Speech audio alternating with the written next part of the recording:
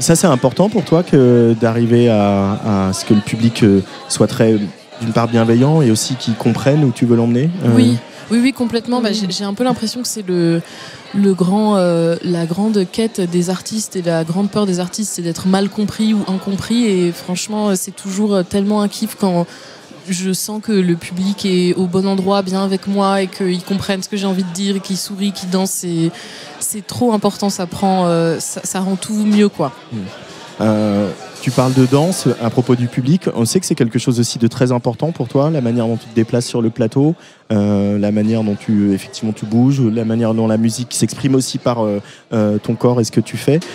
pourquoi tu avoir voulu accorder autant d'importance à la danse, Yoa, sur les lives que tu donnes? Eh bah, tout simplement, je pense parce que c'est, en fait mes influences en général dans la musique, c'est des grandes performeuses de pop américaine euh, qui danse énormément. Moi, c'est ce que j'aime le plus en concert, c'est quand euh, le spectacle est très complet, que le chant est nickel, que la danse est là, que la présence scénique est, est parfaite. Et euh, pour moi, c'était important aussi du coup d'apporter ça dans le live parce que c'est ce que j'aime voir en fait en tant que, que spectatrice. Donc j'avais envie de faire un peu pareil. Ah ouais, t'aimes ça, t'aimes les grands shows à l'américaine hyper, J'adore hyper ça. calé. T'es allé voir Taylor Swift? Bien sûr, oui, je suis allé voir Taylor Swift, bien moi sûr. T'as aimé? bah, moi j'ai aimé, je suis pas fan du tout. Oui, moi non plus. Euh, mais euh, après, quand même, ça reste quand même impressionnant. C'est euh, très impressionnant. Et la ferveur des gens et du public est très impressionnante aussi. Oui, il y a quelque chose d'un peu. on vit quelque chose qui est hors, hors compète quoi. Complètement, complètement. C'est vrai que c'est assez. Enfin, quand je suis allée voir le concert, j'étais avec une amie et on a remarqué que très peu de gens étaient sur leur téléphone. Il y avait très peu de gens qui filmaient. Je ne sais pas si tu as remarqué ça, mais c'était impressionnant quoi de voir une salle aussi euh, énorme. Euh, enfin, c'était vraiment impressionnant. Mais c'est vrai qu'on on, en a cité un des grandes influences à ton propos, FK Twigs. Euh, voilà, c'est même un peu la tarte à la crème, c'est Johan, la, nouvelle bah, FK Twigs. Franchement, autant que vous voulez, hein, ça me va très bien.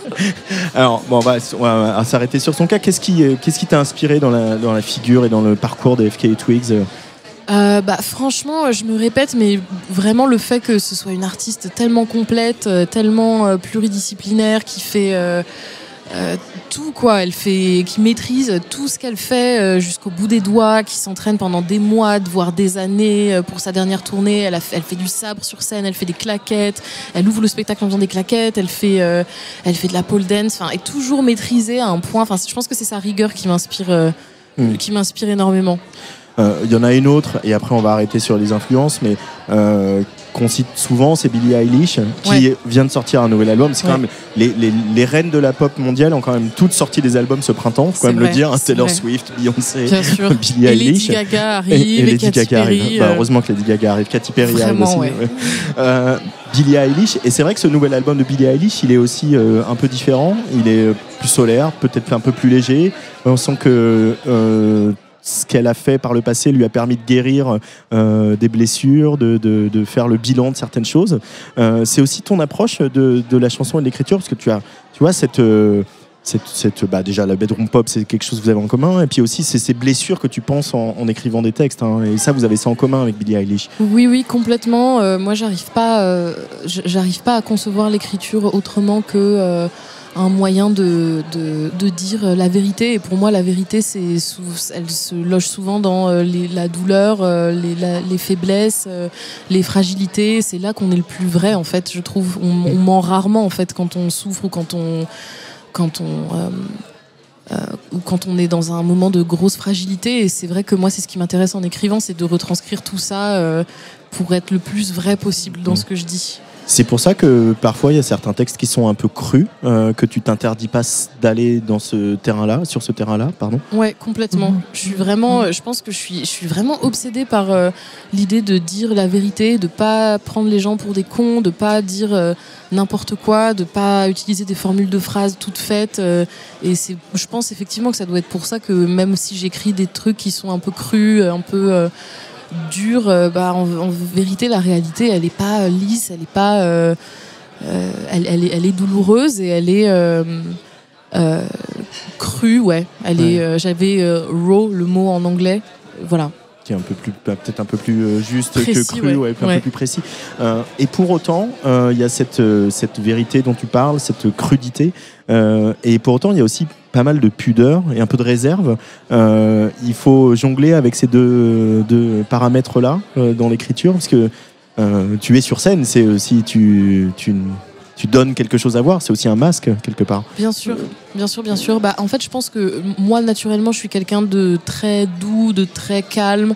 Euh, pas forcément de réservé, mais c'est vrai que je suis, très. Euh, mes, amis savent que j'ai deux tensions, je parle super lentement, euh, ça fait partie de ma personnalité, donc je pense que c'est aussi pour ça que ça vient se mêler à mon écriture et du coup ça crée un décalage qui est intéressant, mm. je trouve aussi en écrivant ou quand on me quand on me voit sur scène, j'aime bien euh, jouer avec ces deux euh, ces deux tableaux là qui sont mm. assez qui sont qui sont différents, qui sont opposés quoi. Mais il peut y avoir de la pudeur quand il y a des choses très directes, tu dirais quoi oui, je pense. Pour moi, euh, euh, pour moi, la pudeur, c'est pas, euh, c'est pas du tout. Elle vient pas forcément clasher avec. Enfin, je sais pas. Moi, j'ai pas l'impression de me dévoiler quand je dis des trucs très crus ou très directs. Tu vois, j'ai pas l'impression de me mettre à nu. c'est tellement naturel et pour moi, c'est vraiment juste un moyen d'essayer de dire la vérité et mais bizarrement la vérité me fait pas peur et me donne pas l'impression de me mettre à nu. Voilà. Euh, il y a cette EP qui va sortir euh, donc le 14 juin. On, connaît Matcha Queen. Il y a des morceaux que j'ai eu la chance d'écouter, que j'ai écouté d'ailleurs un peu en boucle euh, ce matin oh, que je préparais l'émission. et il y a un album qui approche? Ouais, il y a un album qui approche carrément, carrément, carrément. C'était un objectif, ça, d'Iowa, d'avoir ce format-là, de pouvoir raconter une histoire sur un album et puis de, de, sceller une partie de ta carrière professionnelle Oui, bien sûr, bien sûr, complètement. C'est bah, l'album, je le travaille depuis euh, un an et demi. Euh, et, oui, oui, pour moi, c'est une étape euh, qui est super importante, que j'ai envie de bien travailler, que j'ai pas envie de louper, et et qui moi aussi m'inspire beaucoup chez les autres artistes. C'est vrai que l'album, c'est tout le temps un, enfin, c'est un moment attendu, un moment important et qui vient confirmer un truc. Ouais, mais aujourd'hui, tout est, tout est à, tout est à réinventer, pardon. On, on est tu pourrais ne pas sortir d'album et continuer à faire des concerts et, à avoir euh, des écoutes sur les plateformes et sur euh, les visionnages de tes clips. Donc, euh, qu'est-ce que qu'est-ce que l'album te permet en tant qu'artiste plus que, que ne te permet pas un EP Bah pour moi, en vérité, c'est le format. Enfin, c'est une histoire de, de, longueur en fait. Un album comme euh, c'est plus long, il y a plus de choses à dire. L'histoire se construit différemment. L'EP, on l'a pas du tout pensé. Euh, enfin, l'album n'est pas du tout pensé comme les EP que j'ai sortis, l'EP que je vais sortir. c'est une espèce de, de manière de m'écrire qui est plus complète et qui est plus qui est plus long quoi. Et c'est mm. vrai que c'est beaucoup enfin moi en tout cas je trouve que c'est très agréable c'est aussi très déroutant parce que c'est la première fois que je fais un album j'ai jamais fait d'album avant. Mais euh, mais c'est un processus qui est euh, aussi agréable que euh, sinueux et difficile. Sinueux et difficile. Ouais. Ouais tu sues un peu hein. Ah oui complètement vraiment Euh, y a, on va finir là-dessus. Il y a quand même un, peu notre, grand frère, notre parrain à tous et toutes qui euh, chante ici ce soir. C'est Étienne Dao qui était dans cette émission au début. Euh, bon, évidemment, on parle d'artistes féminines à ton propos, Yoa, mais euh, quand on fait de la musique, quand on écrit en français, euh, qu'est-ce qu'il représente pour toi, Étienne Dao? Bah, Pour moi, une certaine idée de la liberté et du cool parce que je trouve que c'est quelqu'un qui est enfin je sais pas j'ai jamais j'ai toujours entendu euh, que du positif sur euh, lui. Et puis je trouve qu'il je sais pas il, il, en jette quoi. Je sais pas comment dire mais il est il, est trop cool. Je, je, le trouve super cool. Euh, c'est sa voix aussi des productions très je sais pas en quelle année c'est sorti mais pour moi les productions Etienne Dao elles sont très symboliques d'une époque aussi bah, de plusieurs époques du coup, hein. depuis les années 80 quand Complètement, oui c'est ce que j'allais dire, genre 80-90 et euh, ouais je sais pas, pour moi c'est vraiment, je sais pas quand tu me dis Étienne Dao, je vois euh, un truc, je vois, euh, enfin je le vois lui dans un blouson en cuir, j'ai sa voix en tête, enfin et je sais pas, je le trouve cool quoi, je trouve qu'il est très, il a l'air toujours aussi libre après toutes ces années, c'est vraiment incroyable je trouve. Et ça c'est ça c'est inspirant. Hein. Ah c'est hyper inspirant, vraiment, vraiment, vraiment. Merci beaucoup, Yoa, euh, d'être passé par le micro de la Tsugi Radio. Bah, c'est un plaisir, comme toujours. plaisir partagé.